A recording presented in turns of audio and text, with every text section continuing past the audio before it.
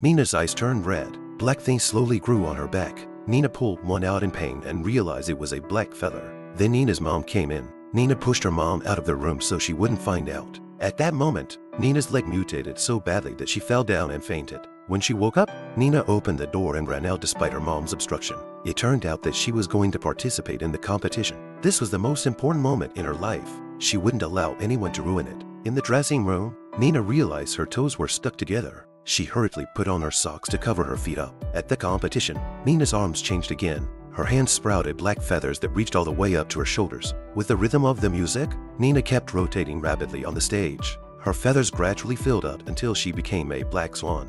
The audience applauded her magnificent performance, but it was all Nina's illusion. Under her mother's control, Nina gradually lost her freedom, and she wanted to unleash herself through the role of the Black Swan.